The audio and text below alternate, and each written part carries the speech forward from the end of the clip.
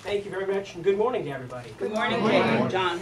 I really appreciate being invited to come visit y'all, and uh, hopefully what I've got to say will help you. Um, I am the president of NIGP, um, your organization. So if you have questions about NIGP, um, feel free to ask me, even if it's off, off this subject. Um, public procurement is um, obviously my passion, um, and obviously if you're doing it, then you must have some passion about it because it's not something you stay in if you don't enjoy it.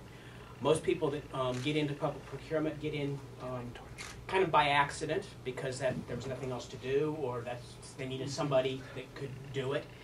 And once you get involved in it and start dealing with it, you start seeing all the different things that are impacted by public procurement.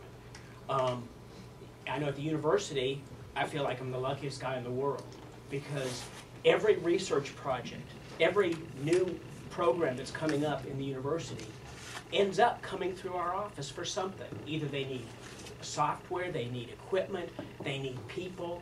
Something comes through our office that tells, uh, tells me what kind of research we're doing. I have the opportunity to um, try to see how to get um, tea, tea leaves or tea seeds from China.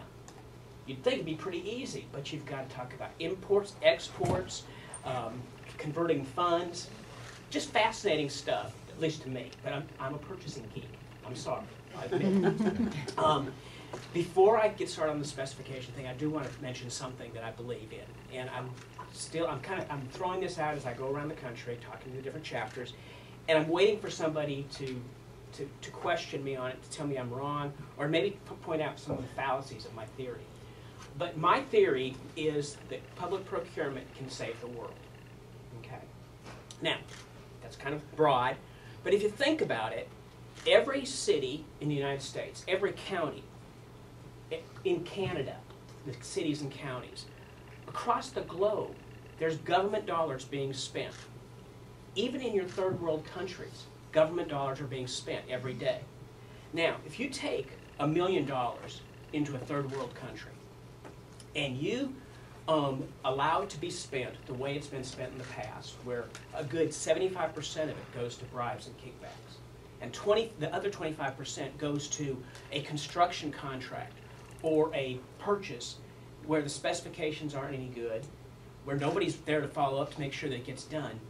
The end users, the citizens of that country, get about 10% of the value that they could get.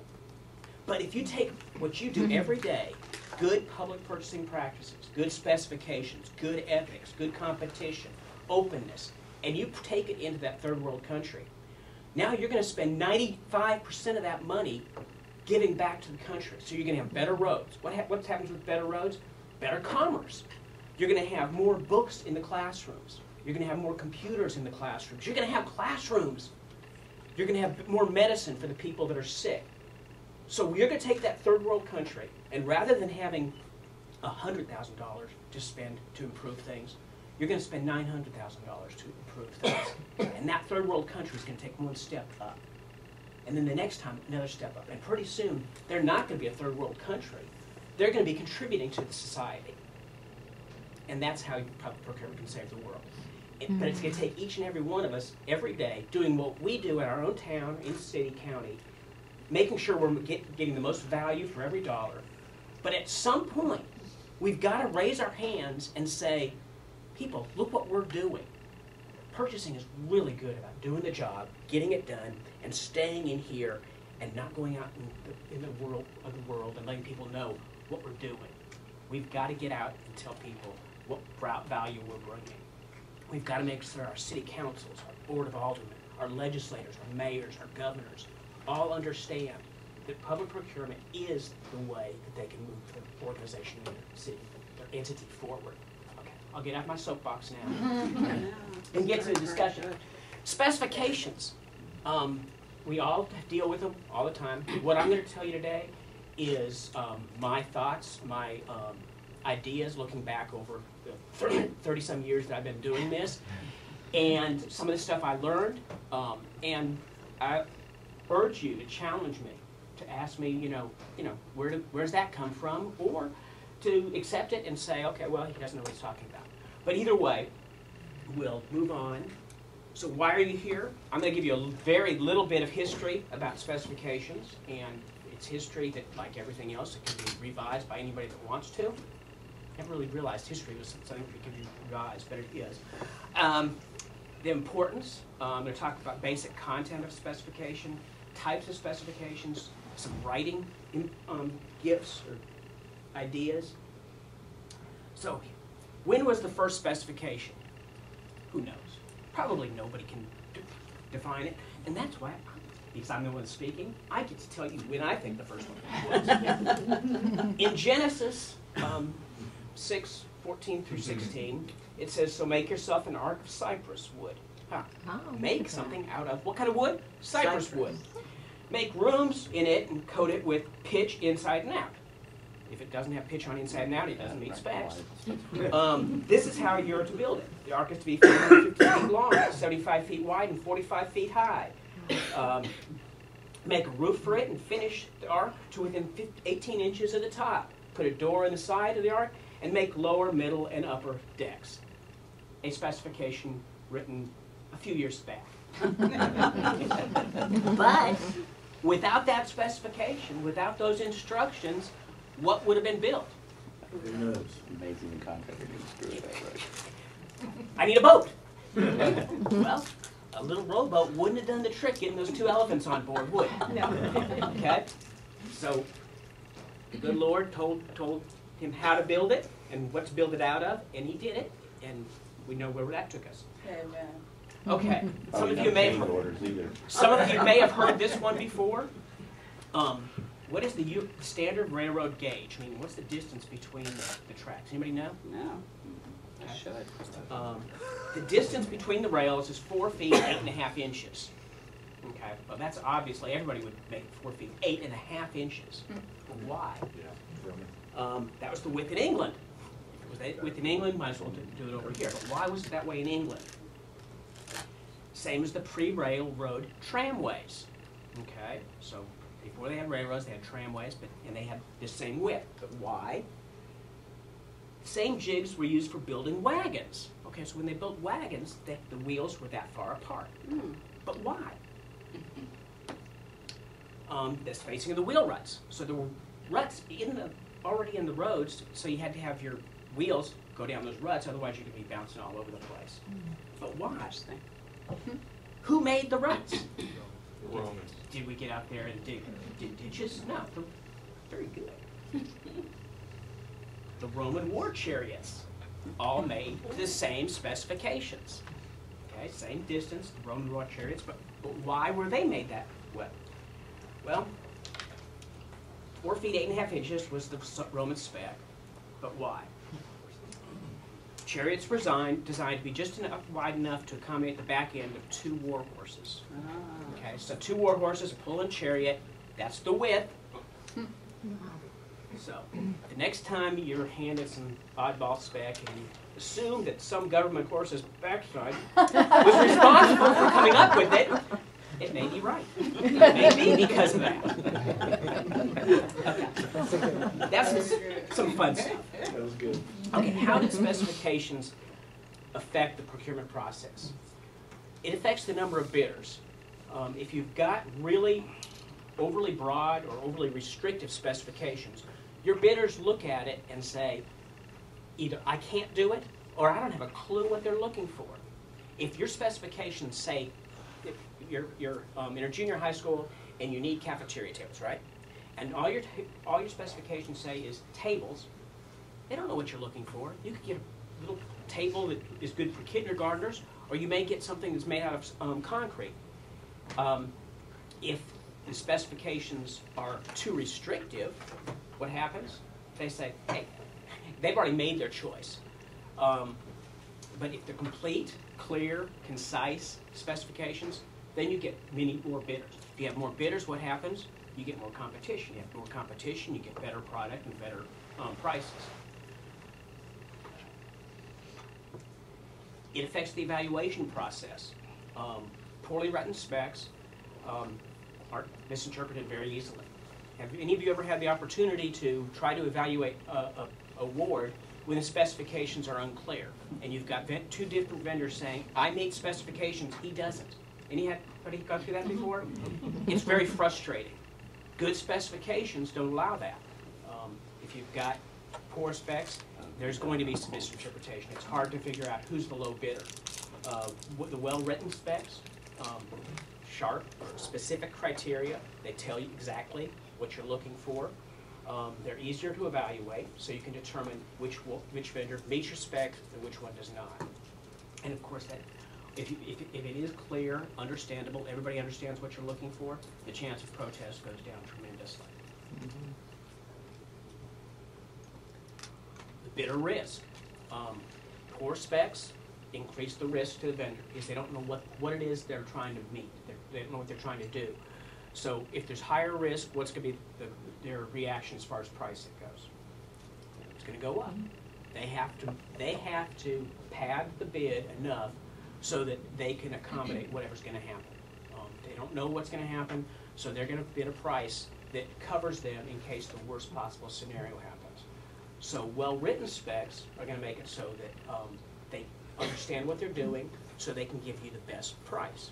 Um, That goes in case, like, if you're looking for a a price of something and you want it for a, a year time, but you don't know how much you're gonna buy, that's a lot of risk on their part, because they don't know when you're gonna buy it, if you're gonna buy it at the beginning of the year, at the end of the year, if you're gonna buy a few or a lot.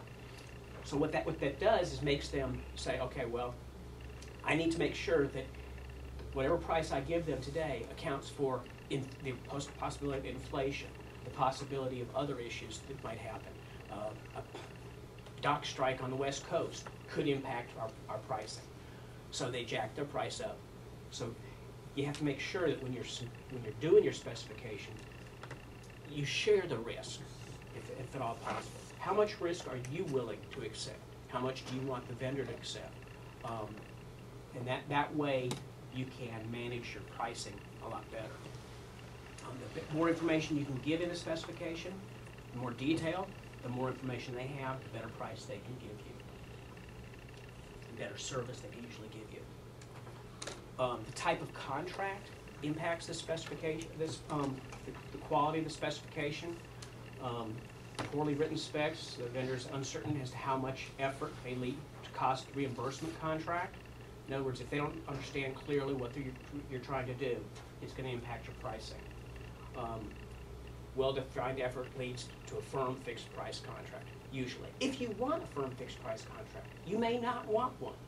But if you don't want a firm fixed price contract, you need to determine how it's going to change. Um, I'm working on a contract right now for security cameras. Well, the university doesn't have the money right now to put security cameras in all the buildings. What I want to do, what I'm considering doing, is entering into a five, five-year contract with two optional renewals. Well, fifteen-year contract, there's no way they can give me the pricing, right? So my idea is, is that they'll give me, um, a discount from manufacturer's catalog. And that we will allow, well, the prices, as their catalog changes, our price will change. Because they have nationally, um, published catalogs, it's not like they're gonna jack our price and leave everybody else low. So that, we'll continue to get that discount for the full fifteen years. The part, the part I was having a little bit of trouble with is that it also includes, um, uh, installation and maintenance, later. So what I'm thinking about doing there is asking for labor rates today, what their labor rates are for their two or three different types of workers, and then allow the labor rates to be adjusted on an annual basis, um, is basically in, in amount not to exceed the change in the consumer price index. Um, There's a consumer price in- index for services, not including medical, for the South, and that's uh, probably the one that's most likely for us. But again, if I give them all those, that information, then they can give me a good bid right now that will keep us in business for fifteen years, and we can have one security system hmm. with all the cameras feeding into our police station. What we have right now is we've got security systems in a bunch of old buildings that were put in at the time, you know, everything from a bell that rings if a fi- if there's a fire to, you know, true cameras and everything like that. We're trying to bring it all together, and as you try to bring stuff together, you have to have standards. So we're we're gonna basically be creating a standard at this time that will last us for at least fifteen years. So anyway, that's the kind of thing that you've got, you're, you're working with, is trying to develop something so that the vendor can give you the best possible bid they can while you protect yourself. The administration of contract can be definitely affected by the specification. Um, If your specifications aren't clear, then the, and the vendor provide, delivers something, whatever, whatever it is. How do you know if they delivered what you're supposed to get? How do you know if you should pay for it? Um, Getting back to that junior high school cafeteria table. You want a junior high, a cafeteria table that's gonna withstand eighth grade boys bouncing up and down on it, because that's what eighth grade boys do. So you've gotta have specifications that are, you know, it's gotta be made of X material, it's gotta be X thick. Um, obviously, you want a certain length and width. You've gotta give them the information so that they know what to deliver, but also so that when your people get that delivery, they can look at it and say, yes, this meets our specifications, or no, this does not, reject it. Um, one of the biggest problems we have in public procurement is contract administration. Um, we do a great job of going th- through a, of, of developing specifications, go, getting all the bidders to bid, advertising everywhere, getting good bids in, awarding a contract or issuing a purchase order, and then it goes, out- the purchase order goes out the door, and we go like this. And nobody tell, does anything. Something comes in, somebody says, oh, yeah, it's over there, signs for it, we pay it. Um, pest control is a great example. How many times do we have a pest control guy come in and spray around, and our, our accountant gets the, accounts payable gets the invoice and says, yeah, I saw him spraying something, and pays for it, right? How do we know it's doing any good? Who's out there checking to make sure there's no pests? Nobody. We don't do a good job of contract administration. What we started doing, and I'm not, I'd be interested to hear how other people are handling it, but any contract that has over, is over, over twenty-five thousand dollars, which is a fairly small amount of money at the university, we require them to assign a contract administrator. And when the contract comes to my office, this contract administrator has to have signed off on the, the cover sheet, saying, yes, I know I'm responsible for administering this contract, making sure we got what we're supposed to get, that we don't pay more than we're supposed to, that, that if we're having a consultant come in and write us a report, something actually gets done with that report, things like that. Um, Assigning the responsibility of administration, because we have an adminis, the responsibility of develop, developing and submitting a requisition, we know that. Signing the purchase order, issuing a purchase order, we know who's responsible for that. But typically, the administration of a contract, no one's responsible. And if no one's responsible, guess what? It doesn't get done. Bill? Don, uh, one of the things that, that we had done was, uh, you're right, it, usually it's go forth and be fruitful with, when the contract's awarded. But I had a meeting with the department, the vendor, and myself, and we went over the contract, what the deliveries were, what the specifications were, so everybody understood what the, the contract said, because usually the department never read it. So they were unaware of what was uh, expected. So when something came in, of course, purchasing got blamed because it wasn't what they expected. So Did you do that on all contracts, or just No, over a it was- certain it was- threshold, or? it was uh, the, the higher dollar Yeah. ones. Uh, Yeah, the smaller ones, uh, I put my faith in the department to be able to handle that. But it's, yeah, that's a great idea. How, anybody else have ways they're handling contract administration? Am- Am I, yeah, Yeah, we, uh, on all our, on all our term contracts, in the contract, there's an administrative agent assigned. uh-huh, Any, anytime there's an amendment invoice, the administrative agent actually has to sign off on any of that, has to be part of the process. Uh, that's for all the term contracts, any of the construction contracts, same type of thing. We have uh someone assigned to verify that the work, that the work's getting done. So, it's, it's in the contract. Now, is it getting done? Is the individuals actually staying on top of that? We do find out sometimes that that's not the case, and what that does come up to is then, okay, how can we, we have meetings with the departments, okay, you're putting these specifications out, have you actually been up, making sure that the current vendor has been meeting those specifications? Then how can you hold the next vendor to those specifications? So that conversation ends up happening, are we gonna broaden these up, or are you gonna start making sure you're doing the correct job? So that does, those conversations do happen.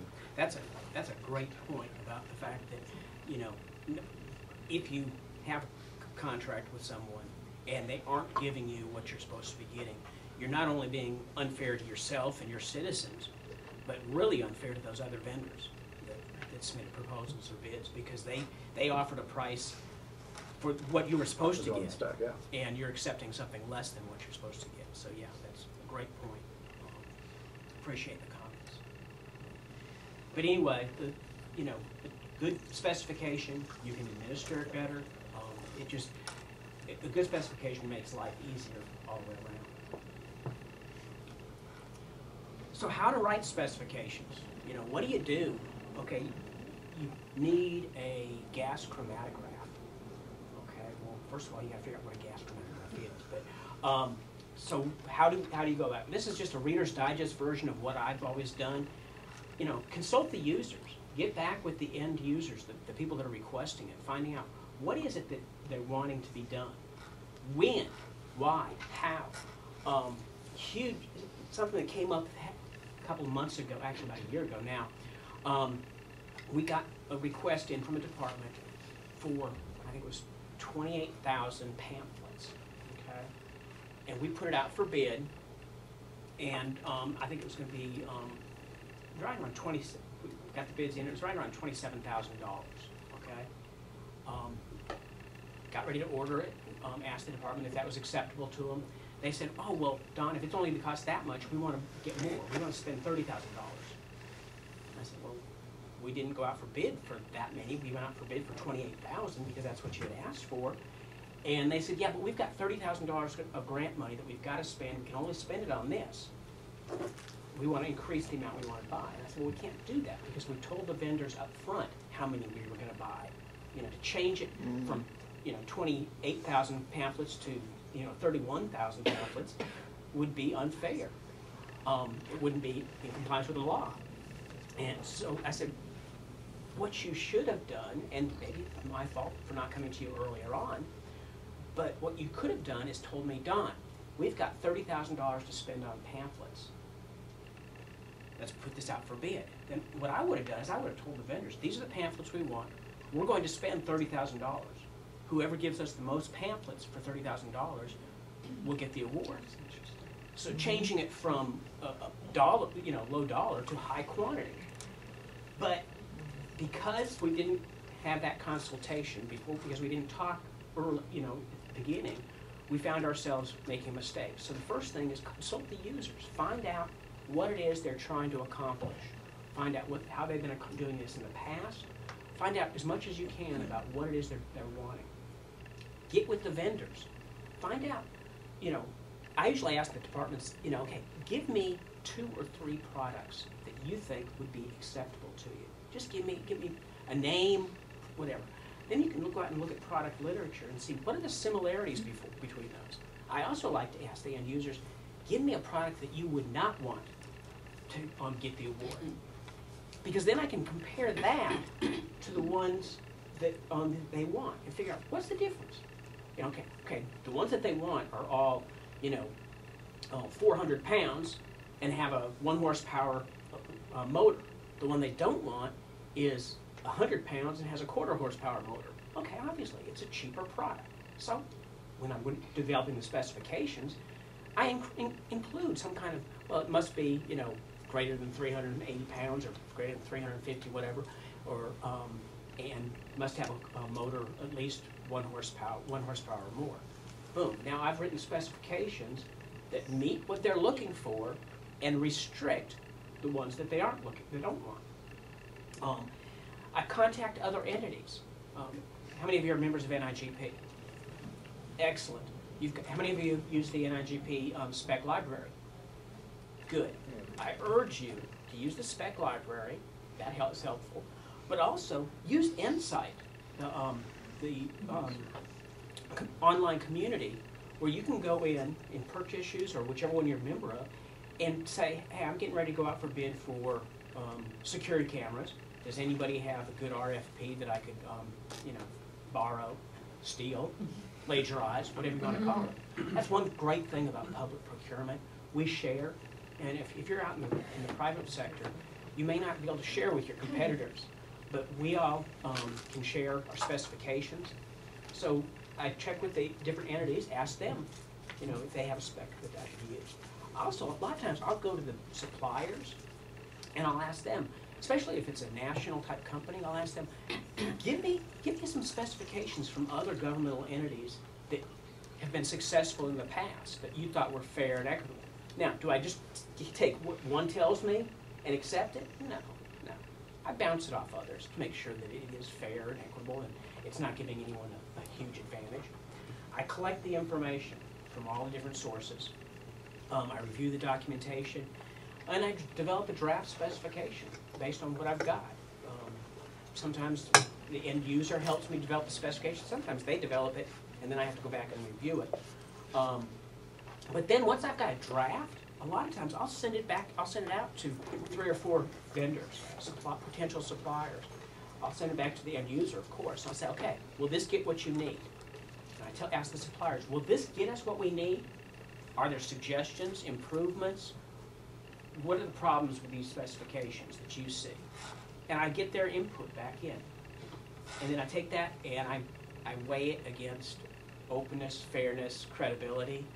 Obviously, if one of them tells me, well, it, it needs to, um, require that the, um, frame be painted yellow with green stripes, I kinda, kinda question that, you know, I mean, maybe that's what their brand is. But it, a lot, most of the times, suppliers are in the business to try to help us. They're trying to give us solutions. They're trying to help us get what we need to have. And usually they'll give me good information. Um, they understand that we want to be fair and equitable. Um, one of the things that, as I talk more and more with the suppliers, the, the really, the good ones, they're looking at ways, trying to figure out ways that we can write into our specifications, into our RFPs, more value. How do we maximize the value? So that we can look at it, not just as what's the cheapest thing to buy today, but what's the thing that's going to work best, best for us in the long run. Um, we did a lighting retro, we're actually in the middle of a lighting retrofit on campus right now, where historically what we would have done is we would have hired an engineer to come in and tell us what um, fixtures to put in, so which lamps to put in. We'd go out for bid for a construction contract to replace all the fixtures. What we did instead is we went out and we did an RFP, and we gave the um, potential suppliers eight buildings. We said, we want you to come in and look at these eight buildings, tell us what we've got in place now, how much energy we're using, what you would recommend we do, um, and then tell us how much it's gonna cost us to install, maintain, and provide energy for it for twenty years. A twenty-year life cycle. So what they were able to do is come in, look at the buildings, we got, about, I think, five different proposals. Each of them gave us different ideas of what we, we asked for a good, better, and best. They each gave us different ideas of what they would propose that we do. But we were able to evaluate it based on what their past experience was, their ability to prove savings, not just what they say they're gonna save, but where, where have they been, where they've actually um, pro- provided savings through energy savings. Um, we did the evaluation, we awarded a co- to a company, and now they're going, they- did those first eight buildings, but they're, they have a contract for the entire campus, because what we said is whoever gets the award for the first eight buildings will continue to service the re, do the rest of the buildings using the same cost structure that they used for those first eight. Um, we were able to go from T twelve or whatever the last fluorescent bul- bulbs were to LED in about ninety percent of our buildings. Um, and we're gonna, it's gonna pay for itself in, I think, four point eight years. And after that point, we're gonna be saving millions of dollars over the next twenty years because of the energy savings. So, again, the, the getting feedback, working with departments, giving, giving the vendors the opportunity to give you something, not just the product, but the solution that you're really looking for. Um, by getting their feedback, they can give you ideas of what can we do, not just for today, but for the future, so we can um, maximize our, our value. Um, you get the feedback in, you revise it, and then you can put it out for bid, um, or an RFP. But I, thirty years ago, when I started in, in public procurement, the concept of working with the, the, the suppliers, with the vendors, um, was more, I would say that, well, they're over there and we're over here, and you can't really come together. Um, actually, the, the early eighties was the time when some of the, some people in our profession were beginning to realize the value that the, the, um, suppliers could bring to us, but it's still, at that time, there was a vast majority of people that felt, no, you, you can't talk to them. Am I right, Bill? Exactly. Yeah. Yeah. And over the, the past like thirty years, it's, it's really changed. Now, what's sad is we do have some situations that happen. Um, one happened in Mississippi recently, I'll get, tell you about it. Our, um, commissioner of our Department of Corrections was um, they were contracting for various services to run prisons around the state and various other things. And, um, he had an influence on how those were awarded. Um, they got awarded, and then he went to those companies, that company, and said, you need to hire this guy over here as a consultant, because he really understands Mississippi, um, you know, how we do business in Mississippi. So they hired this person over here for like twenty thousand dollars a year, and he quote consulted for them, and he got paid twenty thousand dollars, and the commissioner got ten thousand dollars for that. And apparently, this has been going on quite a while, over a number of contracts, millions of dollars um, inappropriately um, given to the commissioner. Uh, He had a three hundred and fifty, he was making a hundred and twelve thousand a year, okay? He had a three hundred and fifty thousand dollar house paid off. He had a condo on the beach paid off. He had two Mercedes Benz paid off, and he was wearing a Rolex. Um, Anyway, he got arrested, um, and the immediate reaction wasn't that this guy has no ethics. The immediate reaction is our purchasing laws are flawed. We've got to get rid of no bid contracts. It, it had nothing to do with sole source contracts, but that's what the reaction was. So what the reaction in Mississippi right now is um, very strict, very, you know, you got to get 14 different signatures to, you know, buy uh, a piece of bubble gum. It, it, it's really frustrating because we've come, come so far in trying to make things better um, through the RFP process, through working with vendors, through looking for um, solutions as opposed to just the cheapest product. And I'm afraid this is going to push us backwards. Um, But the solutions are the key, is finding, you know, we don't buy like I said, 30 years ago, office supplies, toilet tissue, and paper towels were the biggest, most important things to get on state contract. Well, that's, that's old stuff. We've been doing that for hundreds of years. We're buying it electronically. What we're doing today is the neat stuff, you know, um, getting bridges built and um, bu- buying new computer systems um, so that we can provide better services to the people. Um, quality level, it's not about what you want, but what you need. I, I try to explain that to our departments a lot of times. You know, when they're writing specifications, a lot of times they want, they want this quality level, but we've got to get back to the level of, okay, what is it you need? You may need this quality level, but we've got to be able to define it, which gets back to, you can get better quality if you have good specifications and you can define how you arrived at the quality level that you need. Um, temp services, okay, everybody knows buying temp services is, right? So I'm just gonna go out for bid for temp services, okay?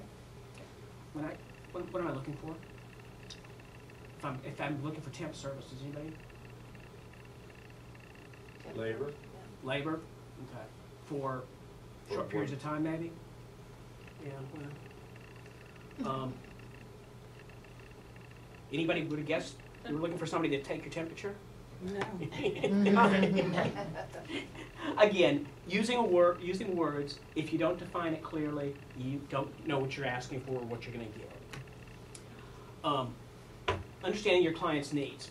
What's their business need? Obviously, a clear description of their needs important. Um, but what's the strategic value to the organization?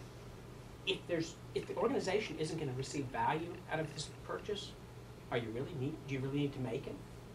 What's the strategic value? Um, does it enhance customer service? Does it allow you, to- your people to do a better job? Um, does it, does it improve a process? Does it save money? Um, does it help employees get better development? What's the purpose of the purchase? Whether it's a small item, whether it's a big item, whether it's a service contract, what's the purpose? What's the business need? Because if you can't define that, and somebody comes back and says, why did you spend that money? You're in trouble.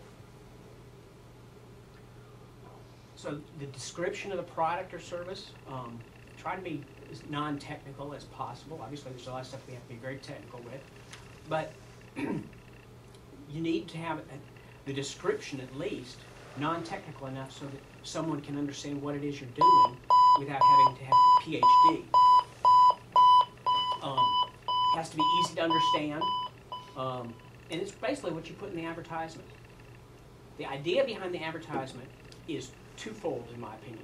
One is to let potential bidders understand what it is you're looking for, but it's also out there to let the public, kn- general public, know what you're spending money on. And if that description of your need says Model 34Z 27A, there's only one person out there, one company out there that knows what you're talking about. That's not a good des- description. Give a general description of what you're looking for, understanding that hopefully we don't have any idiots, idiots out there that are gonna bid based on what's in the newspaper or what's out, what's posted on your website. They're actually gonna go and look at the specifications. Um, understand the constraints. Um, any restrictions that affect the ability to obtain the goods or services. Are there restrictions? Are there federal guidelines? Are there um, legal issues that have to be involved? Um, the timing of it? When is it needed? How many times do we have a situation where we get something in and somebody says, well, we needed it last week? Well, did you tell us that when you were making the request? Now, true, if you ask them when they want it, their answer is yesterday. Um, But you, you've got to make that determination at the beginning of the process. When is it needed? Do we need to have a rush on this? Do we need to include that in the specifications? If so, what's going to happen to our cost? It's going to go up. Um, Is there, are there budget constraints? Based on our estimate, you know, our budget's forty thousand. Based on our estimates, this is going to cost us eighty thousand. Why go through the process? Um, we had one the other day that just blew my mind. Um, it was the other way around, really, where um, department gave it to us and said, um, "We need this put out for bid." I said, "Okay," and they said, uh, "They said, you know, I think it'll be under fifty thousand. Our bid threshold is fifty thousand. I think it'll be under fifty thousand. I'm not sure." So, okay, we'll put it out for bid. That way, if it goes over fifty, we've gone through the right process. Got the bids in, they were twelve thousand and eight thousand. And we're sitting there going, we went through that entire process for this. We could have just gotten two quotes. But, you know, sometimes, again, did we do our job up front? Well, we asked them. Maybe we could have done some more um, due diligence to maybe do a, a search to find out what the cost actually would be. But when you've got this much work to do and you're looking at your department telling you X, you follow it. Um, does, are your staff skills up to, up to speed? Are you buying something that's gonna require more training? Are your people capable of handling the, this new product or service? Um, what's the availability of it? Is it something that's widespread that everybody can offer, or is it very unique? Um, and you, you'd be lucky if you get two bids, be lucky if you get one. Um, the price stability, again, this something I'm gonna go out for bid for, for one-time purchase, or if it's a long-term contract, is the price stable? Can we, can we count on it? Is it, Um, Is it tied to petroleum? Um, Right now, that's not such an issue, but there's been times in the past where anything that was petroleum-based, you couldn't get a price, you know, tomorrow, let alone, you know, for a month, month's time. What about weather conditions? Does that impact either our need for something or their ability to deliver it? Um, obviously, you know, road salt, people up in the north need to buy road salt ahead of time, have it on, have it there when it happens. You can't be sitting there with, when the, when the snow starts falling and saying, oh, we need to buy some road salt. Um, you have to plan ahead. Um, also, like I said earlier, the situation on the west coast right now where they've got a bunch of the docks. Um, the dock workers are on strike and not letting as much come in off the ships. How does that impact us? It may not impact you in Florida quite as much as people on the western half of the country. But th- those people in the western half of the country, a lot of their goods that come in from Japan, China, wherever else, are coming into the ports in Seattle, Tacoma, San Francisco, Los Angeles. And if they can't get off the ship, your people are sitting there going, we can't get it. Knowing that there's that possibility, it's our job in procurement to tell our people, look, these things that you have been buying from overseas, we need to order them three or four months further in advance. Um, timing is always interesting. I got a, when I was at the state purchasing office one time, I got a request for an emergency purchase. It was January fourth. You know, one of our universities sent the request to me. We have an emergency purchase. You know what they were buying? Calendars. No. They, they had forgotten to order calendars in advance. I mean, the fact that January was gonna come right after December just blew them away. But all these things, understanding your client's needs, understanding and looking at all the different things that can impact that. The economy. Um, I, I urge people all the time, read about the economy. Um, Kiplinger letter, how many of you ever heard of that? Okay, how many of you read it regularly? Excellent. We, we, we get it, so I read it every week, I think it comes out every two weeks. I try to read it because it tells me what's going on across the, the world that's impacting the economy. If I know what's impacting the economy, I know how that might impact us. Thus, I can be the expert to give our people more information. That's, that's all this is, is us being the go-to source for information. If you have the information, then you can, you can tell people about it, and they look at you and say, wow, that's impressive. And then the next time they need help, where do they come? They don't go to the lawyer anymore, they come to purchasing.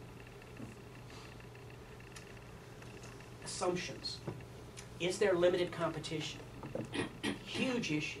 You, I mean, if, if, if you know there's gonna be very little competition, then you gotta be very careful to make sure your specifications are A, open enough to get the, the few that will compete, but you also have to make sure that you go out and contact them and say, hey, did you get this? I mean, if it's a small order, I, okay, I understand it. But if you've got a, you know, hundred thousand, five hundred thousand dollar purchase, and you advertise it and you send it out to, you know, to the right people, how do you know that they're gonna submit a bid? You don't. Sometimes you need to go take the extra step and say, hey, just wanted to make sure you got this and you know it's due at two o'clock on Wednesday.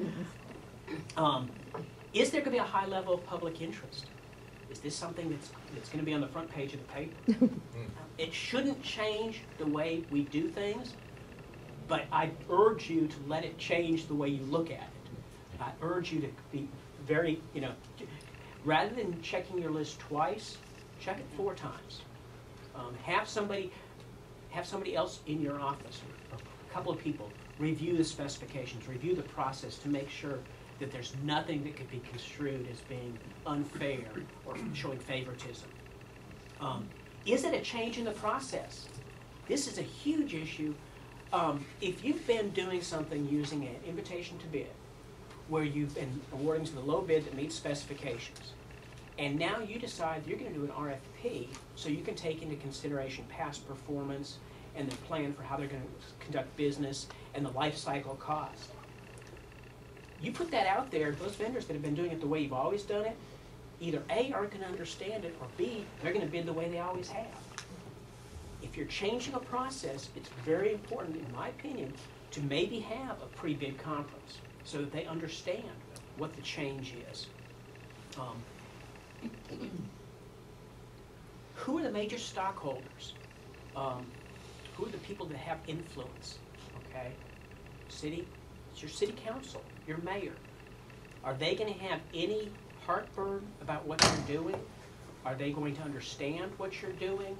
Um, When this hits the streets, are the potential suppliers going to contact your mayor or your city councilman or your attorney or the department? Understand who's gonna have the influence, who, who are the contact points. Make sure they understand up front what's going out and make sure they understand up front that any questions should come to you. Now, I wish every one of us had a situation where you can go to the mayor, or like I can go to the president of the university and tell him, I say, please, any questions? I understand that they're gonna want your, your input, but if you will, forward them to me so we can deal with it. Because I wanna keep you out of the political spotlight and out of potential political issues. I'm in a position where I can do that, and he's very good about it most of the time. There's once in a while, one of these huge, big donors will get to him, and then I get a letter, a, a, question from him, and usually my response is, please have him contact me. But understand who the people are that could be contacted, and make sure you're in contact with them before other people are. Um, are there organizations with influence um, that, that might be impacted by your solicitation? Who are the impacted parties? Understanding those types of issues will help you um, go through the battle better in the long run. Um, all this gets back to what I was talking about early on. Know from the beginning what you're trying to accomplish. Bill? We had a, a situation where, uh, one of my county commissioners came to me when we were writing an RFP. And he had heard about this, wanted to see what the specification said. So I sent him up a copy of the specification. I told him it was still a work in progress. He said, fine. Finished it up, uh, sent it back to the department, they reviewed it, we made some changes. It went out, it came back, and it was, he had given it to somebody, so they responded with a copy that was pre-revision, and uh, the vendor was very upset. The county commissioner was very, very upset that we had tried to screw the, the vendor by confusing him. So when, whenever we sent, uh, drafts to commissioners, et cetera, or elected officials that were curious, we always made sure that we had a stencil of copy on everything, so that they knew that it was a copy and not to share it with anyone. I, well, I usually, um, when I'm work, when I'm working on a spec, when I first started out, I use Wordmark, whatever. Watermark. Watermark, that has draft Yeah. across it. Yeah. And then that way that they hopefully understand that that's not a final version. Yeah. But yeah, that's huge, good point. And it does point out r- rather quickly who's got a, uh, an in- interest in the, uh, in the process. Yeah. You know, I was, um, one thing that I try to get across to our departments about the whole working with us, it, in historically, I've got to admit, every, I think every place is probably like this. The using department comes to procurement, um, when they're ready to buy something, you know, not when they're thinking about it. And what I try to get to convince them of is, come to us when you start thinking about going there. I said, look at us as a- like a GPS. Okay, if you're gonna go from um, Sarasota, Florida to Seattle, Washington, okay, I know, I'm gonna go north, and then I'm gonna go west, and then I'm gonna go north, and sooner or later I'll get there. But which roads would I take? Well, I don't exactly know. I- But if I put it into a GPS that I wanna go to Seattle, Washington, I wanna avoid toll roads, it will tell me how to get there. Well, purchasing's the same way. If they'll come to us at the beginning and say, this is where we are, this is where we wanna be, we can tell them how to get there the best way. But if they wait until the end, mean, they're someplace in um, Tijuana, Mexico, and are lost, and come to say, how do I get there from here? It- We have to say, well, first of all, you need to go back on the other side of the border. And, you know, then we can, we can guide them. Usually what happens is they come to us at the end, and we have to say, oh, look, we still have to go through a bid process. And they say, well, if we'd known that, that's why come to us early. So come to us early, figure out who those stockholders are, know who the players are. Um, a good specification, good scope of work should identify the minimum requirements, obviously. What's the minimum we're looking for? Um, it should allow for competition.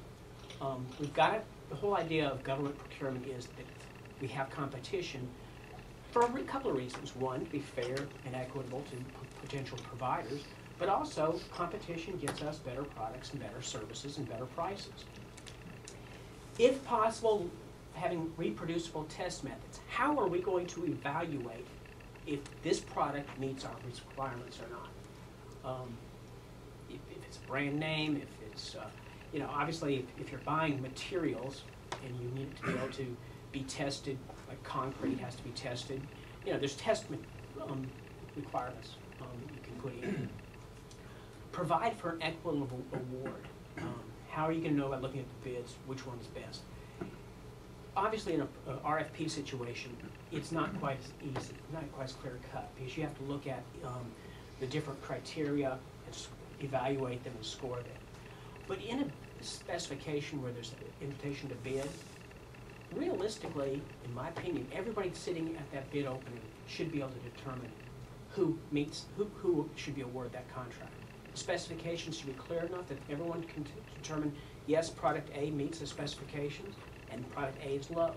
Or using whatever formula you put into your specifications, whether it's energy efficiency or miles per gallon or whatever, that if you use that formula, plug in the prices from the bid, everybody leaving that table should understand and know. The worst possible situation is where you open bids and you have two vendors walking out saying, yeah, I got it. Because you know that you're in trouble right there. So, if, if it can provide for an equitable award that everyone can see easily, yep, I lost that one, so I, I move on, you're gonna be in a much better position. And a lot of times what I will do is, especially when I'm just starting out with a new type of contract, new formula, whatever, I'll give it to two of my staff members and say, okay, bid on this. And then let's open the bids, and you guys tell me who, who you think should be the award of the contract. If my staff members can understand the process, then it's more likely that the vendors will understand the process. If vendors understand the process, there's less likely for complaints and for getting the alderman or the mayor involved. Okay, good specification, sim- simple, consistent, and exact, as possible. I mean, it, it, it's not as simple as that. It, it just, oh, well, obviously I'll be exact. Well, you've got to give a range. You can't say this table has to be, you know, thirty-four point seven five five inches long, because that may be too restrictive. Um, identified with some brand specification, sometimes. It's a lot easier if you're, if you're writing spe- specs for just general item. Using brand name specifications where you use two or three brands, say, or equal, it's a lot easier than trying to write specifications for something that's very simple. Um, ca- capable of being checked, can you determine if it meets specifications? Reasonable intolerance, that's what basically that's saying is, you know, plus or minus five percent. Um, you know, when you're buying a, a tractor, okay, if every company has a hundred horsepower tractor, then that's fine, you can put hundred horsepower. But if one of them has a ninety-eight horsepower tractor and everybody else has a hundred, why not put ninety-eight horsepower or one hundred horsepower plus or minus minus five percent? Something to open up some tolerance, so you're not award, you know, writing your specifications so only one company can bid. Um, fair to the seller, you know, a lot of times people look at us and say, well, th- their job is just to beat the seller down and make them sell at the lowest price. That doesn't do us any good. You know, we, we may get a good price one time, but if we put a company out of business because of their, they, they came in so low, then next time, they're not gonna be able to bid. Or if they come in, they bid, they lose money or don't make a fair profit, then next time you go out for bid, what's gonna happen? They're not gonna wanna play. So we've gotta be, make sure that we're fair to the sellers. Um, Capable of being met by the sellers, obviously. If they can't meet the specifications, you're wasting your time and energy. Clear and up to date, up to date.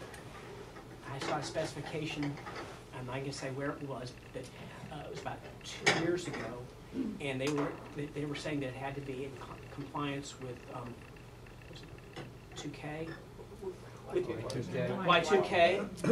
I'm sitting there going, okay, that's a little bit out of date, people. People in the room probably don't know what Y two K was.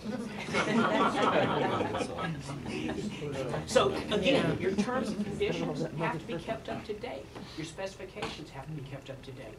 Just because it worked good the last time you put it out for bid five years ago, doesn't mean it's still valid. Um, and some, a fair degree of flexibility. Um, is there an opportunity for a vendor to come in and offer you something better? I mean, if, if, if they've got a new idea that you haven't thought of before, how does that get into the process?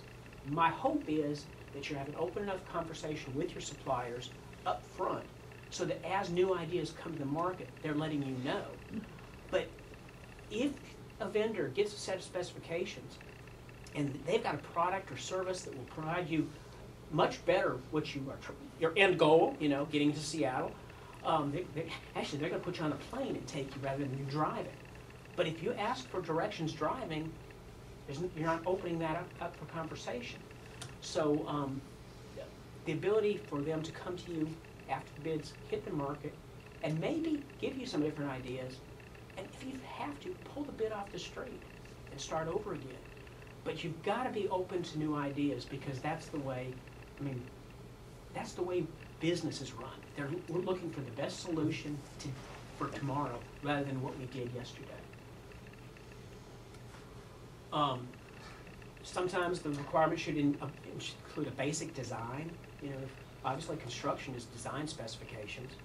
Um, physical dimensions, weights, percentages and types of ingredients, um, types of materials. Those types of specifications are a little bit easier to write. Um, usually we have a professional, um, architect and engineer writing some of, most of those types. Some documents that you may use, um, or get documents from, obviously US government, ASTM, uh, Canadian General Standards Board, um, other cities, counties, federal government, um, NIGP, NASPO. All of these are sources for documents and materials that you may be able to use. And I urge you to take advantage of these types of things, rather than rewriting your own. Um, I don't know that I've written a spec without stealing from somebody else in the 30, 40 years. I mean, you get other people's documents, you find the best and worst of each document and combine them to come up with something you like better. Different types of specifications, brand name, um, of course, that's where you, um, have, two different types of brand name specifications. Brand name only, where you say it has to be this brand. Basically, that's very restrictive. Um, a lot of sta- states, cities, counties have rules prohibiting uh, overly restrictive specifications. But- And this is, a- this is really an old example, but it shows how long I was, I was teaching this stuff. Um, if you've got a classroom and everybody has an IBM Selectric typewriter, okay? That's how old, you know what typewriters are? Okay. Okay, and you, you need to buy more um, typewriters to go in that classroom. Are you gonna buy a Brother typewriter or some other brand? No, you're gonna wanna have the IBM Selectric Model 123A, because that's what everybody has, and you don't want the teacher up there saying, okay, now, all of you students that have this, you do it this way, but this student over here, you do it this, way. it just doesn't work. So you would write spec- specification for a brand name only. Or if you standardize on a certain product, you know, over the years, then you want that brand only. So that, that's one type of specification where you just list the brand and model number and say that's all we can accept.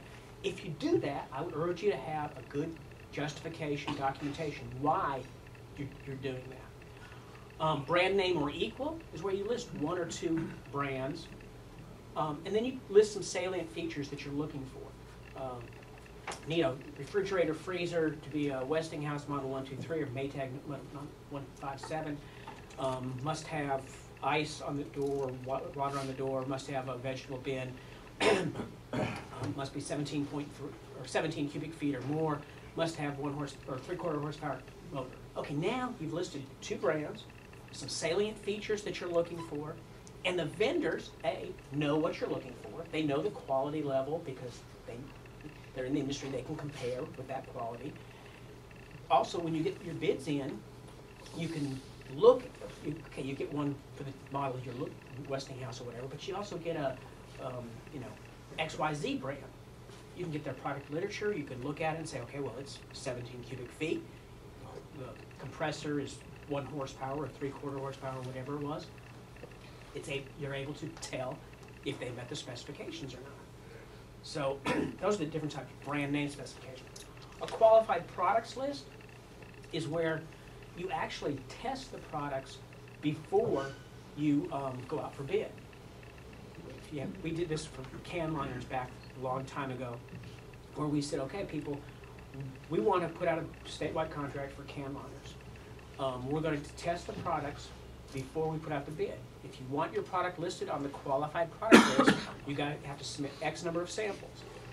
We got the samples in, we put forty, depending on whether it was a lightweight bag, medium weight, heavyweight, or extra, we put a certain poundage of bark mulch in the bag, lifted it up to two feet off the ground, and if it lasted for a minute, it passed. If it didn't last, last for a minute, it didn't pass, okay? Then what we did is we took those that had passed, notified the vendors, notified all the vendors, yours passed, yours didn't, listed those and said, okay, going out for bid, these, this is our qualified products list, you can bid any, on any of the qualified products, but if it- if it's not listed, you can't. So that's what a qualified products list is. It takes a lot of time up front. so if the industry is changing rapidly, I would advise against it. Um, Toner cartridges, I would never do it like that, because toner cartridges, every week, three new ones come out. So the specifica, the, the qualified products list you did last month won't be good next month. If you're gonna do a qualified products list, I would hope that it'd be good for a couple of years. Um, but then as new companies come on, they can submit their products, you test them, you can either add them to the qualified product list or not. Um, design specifications, that's typically like your construction is design specification most, most of the time. Where, um, it's telling, you know, it's gonna be X, Y, wide, length, width, what it's made of, all that type of thing. Performance specifications are specifications based on what is going to be accomplished. Um, We want, um, something that is going, we, we wanna hire a company that will keep this, these rooms clean, um, keep the bathrooms clean, all that. Um, and you're gonna evaluate them, not based on the number of times they vacuum the floor, but whether there's stuff on the floor. On the, evaluating based on the performance. And then design performance is a mixture of the two. It's going, you're gonna, um, you know, we want the building cleaned every night. Now, that's design, you're telling them how often you want it done. But the performance level, um, is, is going to be also there. Um, it- it's kinda like, okay, if you, you've got a, do you know what kudzu is, kudzu is? Oh, yeah. Okay, do you guys have kudzu in Florida? North Fork. Okay, well, we, we have cut, we- we have lots of kudzu in Mississippi. And it's a ground, green ground cover that takes over everything, including light poles, trees, grows everywhere, and no- mm-hmm. nothing will stop it. So, if you've got a hillside along the hi, along the highway, and you want to get rid of kudzu, you could write a, a design specification that says, I want a, um, you know, eighty horsepower articulating mower that has a fifteen foot cutting swath, you know, so that I can cut, okay? Um, or you could just say, I want something that will keep that vegetation from growing onto the road, okay? Perform, that would be a performance specification. And somebody could come in with a piece of equipment to do that. They could come in with um, herbicide to try to kill it. Or they could come in with, you know, ten billy goats, put them on the side of the road. They eat the kudzu, they would never get on the road, and they'd pass the performance requirement. So you have to have an idea of what you're trying to accomplish before you decide what kind of specification would be most appropriate for you. The general format of a specification, um, this can be obviously changed depending on what you got, want to do, but first of all, I would suggest that all of your specifications, all of your bid documents be relatively consistent. So that if people get the bid, bid document on a regular basis, they know where to look for the different things. If each time you put something out, it's in a different format, and for them to figure out what the term of the contract is, they have to hunt for it, it makes it difficult for them. also, by having templates, it makes it a lot easier for you, that you can just plug, plug and play as much as possible. But you start out by having the scope and classification. What is the scope of the work? So that they read the beginning and say, yeah, I can do that, and they continue to read. Or, no, I'm not interested, and they can put it aside. Um, any applicable publications, if you're referring to ASTM standards or if you're referring to federal guidelines, go ahead and list those. Tell them what they, what, the- what you're um, including as part of the requirement as far as any publications. List your requirements. Um, what, what are the minimum requirements you're looking for? Um, is it going to be any type of sampling, inspection, testing procedure? How are, when you get the product in, product or service in, how are you going to determine whether it meets your requirements or not? Um, Is there any preparation for delivery? Where is it going to be delivered? How is it going to be delivered? Huge issue. If you don't have a loading dock and you're asking them to deliver four pallets of something, they need to know that when you s- do the solicitation. Um, during emergencies, during Katrina. How many of you have been involved in an emergency procurement situation? Okay. One of the biggest things we found, we ran into was, you know, we ordering ice and all this other stuff. Well, we didn't have any place for it to be delivered except in the middle of the Kmart parking lot, okay? So these guys pull up with truckloads of ice, no loading dock to unload it onto. So how do you get it on and off the truck? Um, we ended up having to have um, our U.S. military on site helping to unload bags of ice. Um, but again, delivery time. Are there, you know, can they deliver in the middle of the night, or it must be delivered between eight and five Monday through Friday? Is there a loading dock? You know, those types of things. Um, and then any notes or comments, any unique situations that you, you need to make them aware of. Um, when I- I talk about the other specifications and standards, like I said, ASTM, um, AS, ACME, different types of um, publications that you may have to include, either the requirements from that or reference that as your guidance or your standard. Um, Delivery and packaging, like I said, are you looking for something just in time? So that, you know, it's delivered, you know, ordered today, or delivered to the desk the next day? Um, Are there deadlines? You know, obviously, if if you're ordering, um, you know, fertilizer and you need to have it available when they start planting, you know, you need to have it a certain time. Um, If you need, we ordered um, mattresses several years ago now, and we were opening a new residence hall, and the resident, hall- students were moving in on August 8th. So we had to have the new mattresses by August 1st. They didn't show up till September 1st. Guess what? That causes problems. Make sure that there's deadlines, that you're aware of them, and that the vendors are aware of them. Um, is there a loading dock, or is it, is it gonna be delivered to the fifteenth floor? Ever ordered a conference room table to be delivered to the fifteenth floor? And they show up saying, uh-uh, I didn't plan for this. You know, it- it's not going up the stairway, we're gonna have to put it on top of the elevator and ride it up there. You know, planned in advance, understanding what the situation is. And it's so hard in your position because you're, most of us are probably sitting in an office, we get a request from a department who may be on the other side of town, um, and they're making a request, and you're saying, well, obviously they know what they're doing. Duh, who made that mistake? So you get, they get this, um, get it in, and it- can't be delivered to the room it's supposed to be delivered to. Or, we ordered a, um, a heating and air conditioning unit, and got it ordered really right on time, delivered. The building wasn't gonna be finished for six more months. we have the unit just sitting, waiting for the building to be delivered. Um, Is it supposed to be drop shipped? Or is, are we asking them to set it up? You know, when you buy furniture, okay, chairs, desks, okay, just drop ship it. Who's gonna set it up? Who's gonna put those wheels on the chairs? Um, you know, not, not my departments. Um, is it ordering it loose or packaged? You buying, um, this is an old, another old example, but, you know, five hundred file folders. Do you want them packaged ten per package so you can hand them out? Or do you just order five hundred and put them someplace they start disappearing, you know? Um, So again, this kind of information, whether it's something as simple as file folders or something as complex as a new computer system, these are the kind of things you need to know. If you're ordering a new computer system, what kind of training is going to be involved?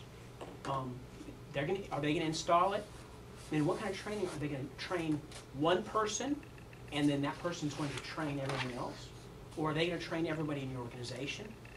All these things have to be decided up front so that you don't have this problem later on. Critical ingredients, clear, concise language. Um, being concise is important. Consistency, you can't call it one thing here and something else here because then it creates kind of a question, well, are you talking about the same thing? Um, easy to read and understand. Um, don't use an eight-point font. Um, I mean, I know that, that suppliers try to do that with their contracts that you can't read, but use a, a, a font that can be read. Don't try to get fancy with colors, um, because there's a lot of colors that just, some people have difficulty reading, and if you want them to actually pay attention to what is, the words say, you don't, you can't have them worrying about the format that it's in. Um, Make them easy to revise. Um, You know, you need to be able to go in there and change things if you need to. Um, If you take, if you have a document that has a bunch of PDFs in it, then you have to change the entire PDF. It's- It just, if it's intermingling with different types of forms, it makes it difficult for you to change. You need to be up, be able to update quickly, because the idea is, if you get a question, if you find that there's something in it that's wrong, you need to be able to go in and make a quick change, so that you can, and notify people of that change. Standard format, good organization, like I said earlier, make it so that they can know where it's gonna be each time. Um, common among agencies, departments, and divisions. Try not to have a situation where each of your different divisions or departments has a doc, have, are using documents that look totally different. Try to standardize as much as possible. Um, it'll help you, it'll help the vendors, and it'll help your end users. Categorized, um, and, and having a numbering system. I saw some specifications recently where it was four pages of typed stuff, no breaks between paragraphs, no numbers, no, I mean, nothing. And I, I told them, I said, look, people, we've gotta make this so you can read it. Go back in, you know, put in a numbering system so that if, if, if somebody has a question, they can call me and say, Don, section three A causes me a problem. And I can go to three A and look at it. But if they're calling me and saying, Don, um, about halfway down on the third page, you know, it, it just, it's not good business. And you wouldn't like reading something looking like that, so don't put something like that out. Categorize it, you know, this is the section on terms and conditions. One, two, three, four, four A, B, and C. Um, this is the section on, um, requirements. These are the delivery requirements. Um, this is how to submit the bid, one, two, three, four. This is how we're going to evaluate the bid, one, two, three, four. So that everyone can look at it real quickly and figure out what sections they need to look at. Helps them, helps you. Other considerations, um, life cycle costing. Um, huge, uh, you know, like I said, thirty years ago, we weren't using it as much. Now, I urge people to find ways that they can incorporate life cycle costing. Um, looking at the total, the purchase price, but what are the maintenance costs, the supply costs, disposal value? What is the, the value to your organization over the life of the product or service, as opposed to just what the purchase price is? It allows you to buy better quality products, better quality services. Your end users are happier. Your suppliers, the good ones, are happier. And you're giving your citizens more value for the money, so um, it's beneficial. So I urge people to take that. How many of you are using any kind of life cycle costing? What'd you do? We, uh, uh, automobiles was the basic one that we started with, because we found that, uh, uh, about half the cost of the vehicle was after we bought it. So, you know, were we making the, truly the, the lowest, uh, responsible bid, uh, the award? And found that when you start adding in the maintenance costs, which vary from manufacturer to manufacturer, uh, and the, the cost of supplies, the mileage, et cetera, it really did have an effect on what the total cost of ownership ended up being. And we started into, uh, uh, heating and cooling units, Mhm. uh, uh, air conditioners, et cetera. Yeah. And automobiles, I tried that. Getting, getting an agreement in the, in the industry on maintenance costs has been very difficult for me. Were you successful with that, or did you just tell them what the guy? Well, we, uh, we went back to, uh, their posted prices. They, they had to provide copies of their posted prices. And, uh, we used that. Uh, Getting Public Works to go along with it, uh, because the preferred vendor didn't always then end up getting the, the award. But we did get them to track for like three years. And the cost did compare very uh, closely with what they uh, showed in the original award. Interesting, good. Anybody else using total cost of ownership life cycle? I urge you to consider, look at the stuff you're buying and determine, are we buying it the best way? Or could we take maintenance, um, supplies, other things into consideration in the evaluation and award process? And would it change things? Would we be getting a better product that might last longer, um, give our people a better, um, end result? Um, price volatility, you know, again, I mentioned that earlier, if something has a huge, pri- prices go up and down a lot, the length of your contract can't be very long.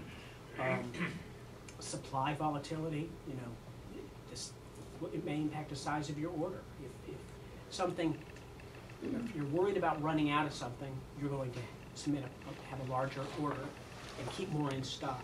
What's it cost to you to keep it in stock? What's the spoilage? All those types of things are things you've got to be thinking about to determine what is the best amount to order and how often. Um, like I said, numbering, numbering your paragraphs, two, two point one, two point one one, et cetera, some, com- some kind of numbering system. Title the documents in the paragraphs so that people can easily find, you know, what, what they're looking for, term of the contract, things like that. The consistent organization, I already mentioned that. Um, expository style, different styles of writing. Um, it's not imaginative, it's not creative, there's no criticism, no argument, no opinions. Um, you know, it's, the intent, it conveys information, it's explanatory. It, it, it's, quite honestly, it's, um, uh, boring, very boring, but it's, uh, good. If you're writing, if you're writing short stories, forget about it. You know, get creative, you know, bring some, um, fiction into it. But if you're writing specifications, keep it s- short and sweet and simple, um, because you're not trying to entertain the people with your writing ability, trying to fi- make sure they all understand what you're trying to get. Um, again, identify your audience, who it is that's submitting these bids. Are these people that are, um, highly technical and understand the business world very well? Or are these people that, um, you know, sell feed and seed from a store on the corner? Um, because how you approach them is gonna be different. Um, their traits, their attitudes, their educational background, um, their language level, um, their politics, uh, what authority they have, what, what the literacy level is, um, special techno- technical training. The bottom is, who it, who is it that you're submitting your, putting your bid out to? And take that into consideration when you're writing and when you're um, developing a specification. like I said earlier, if you're changing the way business is done, invite them in, talk to them, let them know what you're doing and why you're doing it. Help them understand the process and the document. No, you can't help them write their bid, but you can help them understand what it is you're looking for. And if you're not, if they're having trouble with that, maybe there's some ways that you can help them. There may be some situations where they shouldn't be competing. They aren't ready for it. And that's understandable, but it helps if you have a clear understanding. Words mean something. Shall, will, require, those are mandatory. It has to be in there. Should, may, desire, those are not mandatory. Make sure that your words mean what you want. If you say they shall um, sign in blue ink, guess what? They have to sign in blue ink. Realistically, you should throw their bid out if they don't, if, because if you said shall. Um, but if you say, well, it, it, sh- it should be um, at least se- seven horsepower, well, should doesn't mean it has to be. So you've got to make sure you, you understand what the words mean and use them properly. Keeping it simple, you know, you could use conglomeration, or you could just say mixture. Uh, incinerate or burn is recommended that, or just use we, we recommend. On consideration of the fact that, how about because? A lot of this is like, if you're a lawyer and you're getting paid by the page, you want to stretch it out and say, in consideration of the fact that the four, you know, you go through a whole paragraph to say one person is black and one person is white. That doesn't make any sense. Just use simple words, quick and easy. Closing thoughts. It's unwise to pay too much, but it's worse to pay too little. When you pay too much, you lose a little money. That is all. But when you pay too little, you sometimes lose everything because the thing you bought was incapable of doing the thing it was bought to do. like I said, when you're buying um, tables for a eighth grade cafeteria and you buy the cheapest table and you have to replace it every three weeks, you're not saving any money. You're not saving anybody any time. But if you write specifications for a product that will stand up to what you're going to be using it for, it'll la- it costs more up front, but it lasts longer, and your total overall cost for classroom or cafeteria mm-hmm. tables will be lower over the long run. So you got to be careful about what you write. Don't don't write specifications. Don't bid things to get the cheapest product. It never, very seldom is in your best interest. You cannot enforce the specification you intended to write, the one you thought you write, or the one you wished you did. You can only enforce the specification you wrote. In other words, you know, hindsight's twenty twenty. You know, I can always say, well, I should have done that.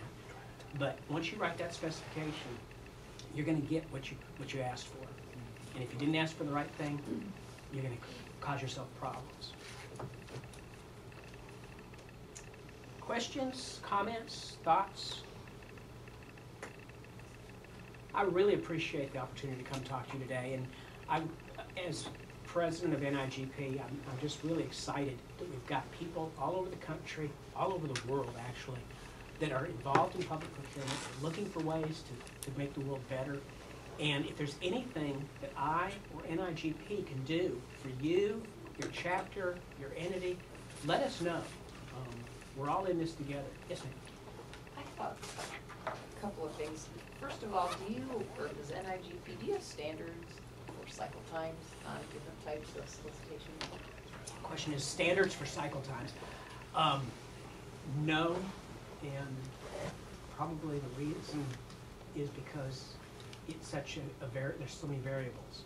Um, you know, you know, cycle time from the time it's first determined that you have a need, or cycle time from the time you're first notified of that need.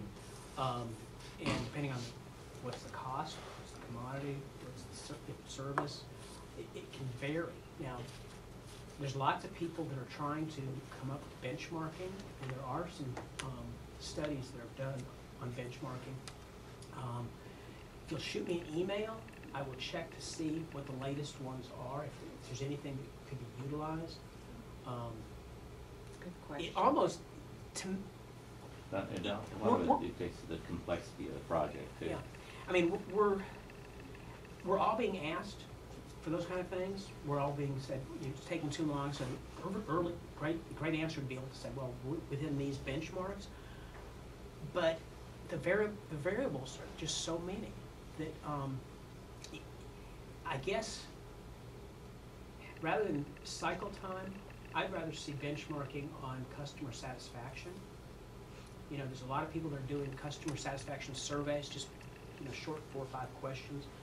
If you do them consistently enough and, and, um, broad enough, then you sh- should, should start seeing, you know, where your strengths and weaknesses are. Um, that communication with the end users, um, one things that, you know, and everybody's structured a little bit differently, but a lot of entities have their buyers focusing on, um, a certain commodity area or service area, like this person handles all our IT, this one does all of our MRO type thing.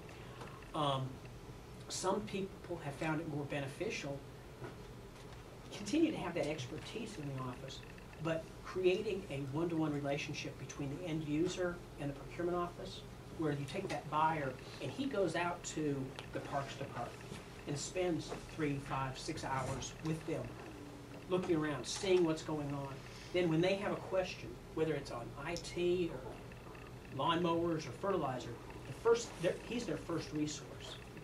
And that creates a situation where you've got better communication and quite honestly cuts down on some of the cycle times because the problem most of us have with, with cycle times is we get something and it's incomplete. Hmm. We don't have the information we need. And when we ask for it, they don't respond quite as quickly as we'd like them to. And then we get blamed for delaying. I've got one guy on campus that's just great. He'll, he'll come to me with this, usually in one, in a staff, in a meeting of some type, and he'll hit me with this idea that he's got, he, I really want you to do this, we need to do it really fast. And I said, okay, well, great, shoot me an email, kind of give me an outline, outline of what you're looking for. I, s- I go back, I start doing some research on what it is he's looking for. I don't hear from him again for six months, you know? But when I do hear from him, it's like, we need it tomorrow. But as far as cycle time, shoot me an email and I'll, I'll see what I can find, okay? Thank you. You have- You, you always have those ones where they bring you in, the packet's all ready, the scope's good, the, the, the plans are good and all, and then you start going through and then you have issues with it. That's uh, one of the things we s- try to do is we have kind of a central depository now for our bids, RFPs, and our scope of work. Our templates are set, we have our, our set terms and conditions. So what we concentrate on, so what we do is we have a, a list, a checklist that our departments fill out that has all the stuff in it. Budget code to pay for advertising, all the other stuff we need to do, who the project manager is, what is contact information, is there a, is there a, uh, engineer involved, is it, is it in-house engineer, is it a paid consultant? They give us that information sheet. Then what, what I do is I collect all the information. You send me the specs, I look them over, if we see anything out of it. Some of the stuff he's talked about today, we have a check sheet have one for bids, one for RFPs. It basically goes through some of the, some, uh, some stuff that Don's already talked about where it says you should number your paragraphs. We don't allow to put anything in the footer. That's our area, stay out of it. You can have all the header you want, put numbers, page numbers, whatever. We want the footer. we put our page numbers and all down there. So we have a checklist list that tells them what everything they need. Once they put all that together and we have it all in one place, then I take it to the buyer and go, here you go. Makes the, makes, because I tell them, I can't tell you how long it's gonna take till you fill, the- fill all those blocks and tell me exactly where we're at. Uh, You know, and then it depends on the complexity of the project, a lot of times, if you have, like, we would rather put out a construction, a large construction project that has blueprints with it, multiple blueprints with it, we'd rather put it out for forty-five days Yeah. because we know that every construction company I think seems to do this. They'll look at those and they'll sit them on their desk for the first thirty days, and then the last fifteen, they'll go, oh my gosh, we gotta get that bid out, you know, so. but Interesting you say that. Um, I was meeting, the, the NIGP has a, a business council, NIGP Business Council, which is made up of some corporation, different corporations. And I was meeting with them about, you know, why they don't bid. On stuff. In fact, they did a white paper, you can get it on the NIGP, um, website, It says, we, I know bid, I'll tell you why. Um, and one of the things that they, you know, I, I thought all along, we put out an invitation to bid, it goes and sits on somebody's desk you know, and then like you say, a week before they start looking at it, what they were telling me is, we, they get it, and immediately it goes to six or seven different places in their organization. Marketing, legal, mm-hmm. cons- you know, manufacturing, whatever. And they've got, they've, they've got to get input from all those before they can start working on, you know, so, but yeah, it's good points on these. Do y'all need copies of templates? I'm just saying, you Well, we, know. we refined a, a lot of our stuff in the fact that we used to do the same thing. We kind of get little bits and pieces from the project managers or the engineers at a time and all, and then the buyer would get it and we go, okay, so we got a buyer sitting on a, on a solicitation for six months when they got other things to do, and then they're trying to follow up. So what we decided to do is, I do that. I sit on those solicitations and I follow up and I say, look, well, when are we gonna put that up? I don't have all your stuff. I can't give you a cycle time on this bid until you give me all the stuff. Once I have it, then I can tell you, this is when we can cycle it through. Sometimes the monkey has to go back on the, we don't call them customers, we refer to them as clients, because customers are always right and our clients are not always right. Citizens, we refer to as customers because they're always right, you know, and our, so. Excellent. Okay, yes. Um, where do you see the future of procurement with the onset of things like e-procure and BidSync and, Okay. Where do I, personally, I see the future for public procurement, um, very sim- over the next twenty to thirty years, very similar to that of the, the accounting world, um, where in the fifties, you could be an accountant and you didn't have to get a CPA, you didn't, some people didn't even have a college degree. Uh, Public procurement, I, I see, you're gonna have to have a college degree to do it. You're gonna have to be certified to do it. Um, maybe entry level, you can get in and start doing it, um, but to move up where you can have any authority, I, I, I feel like there's going to be a threshold where if you're not certified and have a college degree, you're not gonna, um, be able to do it. As far as the e-procurement and things like that, what I see happening now is more of the, um, the day-to-day, um, tact, day-to-day stuff, the, the task stuff is being moved to electronic, which gives the public procurement officer the ability not to be worrying about buying pens and pencils, but to be looking at the big projects, um, and, you know, really being at the table as you start talking about building the new intersection or, um, you know, building the new building or, um, creating, not, not just buying the pavement that goes into the park or the grass that goes into the park, but in the part of, being part of the whole entire design so that, um, you're taking life cycle costs into consideration, you're looking at products that will last longer, things like that procurement officers will, will not be in a room at the end of the hall. They'll be at the table helping to make those decisions because of the value that electronics, being able to process stuff electronically gives us more time to, um, in theory. You know, there's still a lot of day-to-day stuff. Okay, um, I work in the construction, um, part, and, you know, we're talking about specifications. Where we get in trouble is the qualifications. Uh, the engineer or the PM writes the qualifications, and they're very exact. They have to have put in a dry pump pit station or, you know, whatever. Um, it gets us in trouble because they're, they're so exact. Um, I came from Colorado and we used to have similar scope and size and complexity. So we didn't pigeonhole ourselves in because we've had to throw out tons of bids. I mean, literally, it's so much money, it's mind blowing. Okay, what process do you go through to hire your um, professional, your architect, engineer? Um, there's like there's a library, but it, it's really not in procurement. It's not us that would Well, do that. Again, my, my, what we've done, um, I'm on, my office, someone, my, my officer, myself is on the panel with selecting, um, the professional. We do a request for qualifications, get people that wanna participate. We look through the qualifications, look at their experience on similar size and scope of work. Usually we narrow it down to three, we have them come in and talk to us about what they're doing. And usually during that conversation, I ask them about their background with, um, public um, projects and their understanding of things like buying furniture and equipment off state contract, um, op- openness of specifications, and understanding that um, if the specifications are highly restrictive, they've got to be able to provide us good justification as to why the specifications are, may appear to be overly restrictive, especially if only one or two vendors can bid on it. Right. But it, that communication with the professional, making sure they understand what your expectations are, has sometimes proven successful. Some, we, we still run, we run into the same thing. Okay. But, um, Anybody talking else have that, that issue? Yeah. Uh, uh, Could, could, could we Yeah. are you talking about your internal engineers having, helping you set those specifications, you're having trouble Well, with we don't that? write the specifications, we get it from the end user.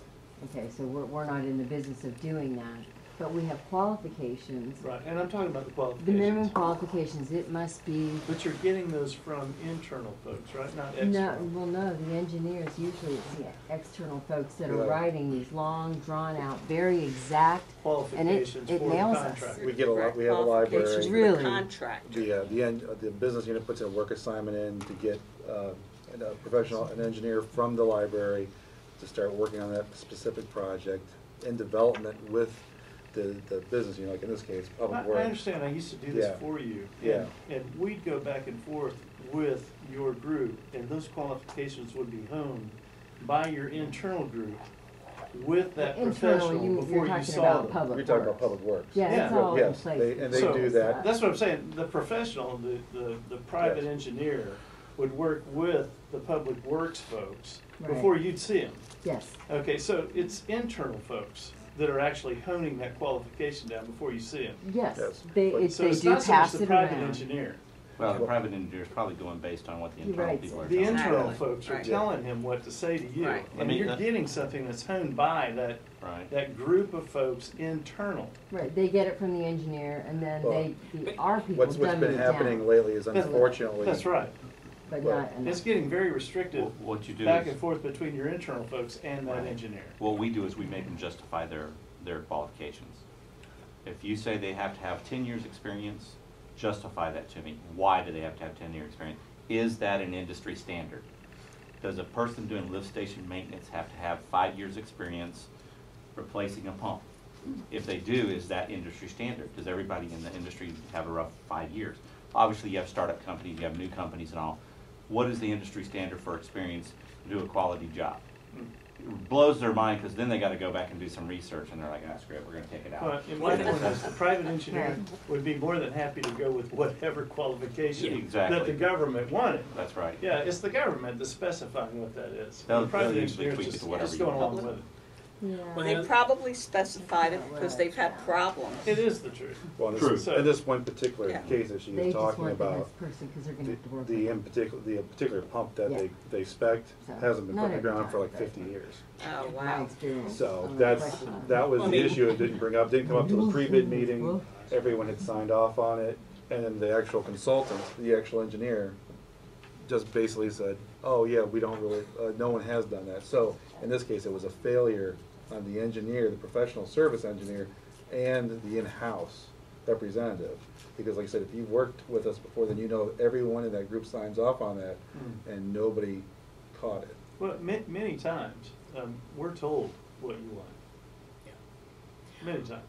Uh, and, and you know, that's. And that's just get back to communication right, between and the, not- not the procurement side. office Right. needs to make sure the shows end user understands the requirement for openness and competition. You know? Another thing that, um, what I've done on, on, like, stuff like that is, I- rather than five years of experience, give me, um, three projects where you've, um, condi- installed similar equipment in a similar situation Yes. over the past five years.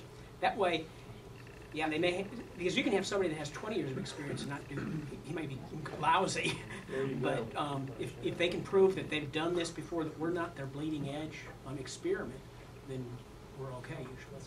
Anything else? We, uh, we came up with a checklist for our engineers that basically, that makes them list where everything is in their specifications. Where did you put the liquidated damages at? Uh, Did you lay it out like we asked you to? And some other questions we ask in there, how long is it gonna take to complete this project, including lead times? Because you, you get, you get engineers who give you specifications, go, oh, it'd take hundred and eighty days to do this job at this lift station. Oh, but we forgot to tell you, there's hundred and twenty day lead time on ordering the pumps. Right. Well, okay, and the bid's already been awarded. Right. So now you gotta do an amendment to the contract to put another hundred and twenty days. We ask all that in our checklist. And when we get it, we go, okay, you're sure there's no lead time on pumps? Yes, we're sure, they're in the market and everything and all. Okay, we've solved a lot of problems that way. That's a great idea. Because they'll come back and go, hey, we noticed on your check, uh, checklist, you asked for lead times. Yeah, you're right, based on the industry standard, because this is what you paid the p- paid consultant for, to find these things out. They'll come back and tell you, well, you didn't pay it. Yeah, we did. We're paying you two hundred and fifty dollars an hour to go out and find out what the lead time is on those pumps, and what's the lead time on this, uh, tubing or this. you.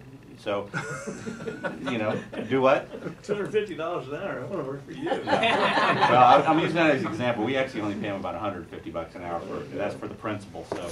But, uh, the, uh, uh, with that checklist, and, and checklist, you start out with a simple outline. What is it I wanna know from these people?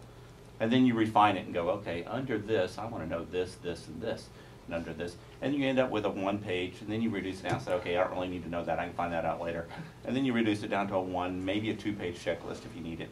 But you start off with a basic outline of what you wanna know in those specifications. And what you do is you make them justify it in that outline. Say, okay, if it's a hundred and eighty day project, is there any lead time on pumps? And what you do is you do that on experience based on the problems you've had with the paid consultant. You go mm-hmm. back and you address, start to address. I started out with a, a yellow legal pad, writing down on, oh, well, this guy screwed this up, well, okay, all right, well, I don't like that, you know, and, and some of it I was able to solve, and some of it was I had to compromise on, and some of, but Don made a good point, the biggest thing is communications. That is, that is probably the biggest downfall between procurement and, and the clients that they work with, or the customers they work with, that, that is usually the biggest problem I find. Well, the, I told you this, I'm like, eh, so I usually have them put it in writing, send me an email. Don't tell me on the phone, send me an email. I mean, you tell your, you tell your contractors that, don't tell me on the phone. If you want an addendum done on that, you send me an email. Or you put it in writing in a letter. So it's, I do the same thing with my clients I work with. I tell them, if that's what you want in the spec, you put it in an email. So, Fantastic. plausible deniability. Thank you. I, I know I'm keeping you from lunch, so anything else? If Well, we not, wanna make sure you get to the airport on time Yeah, also. I I appreciate that Don very needs much. to make us Thank you fly. so much for um, being here.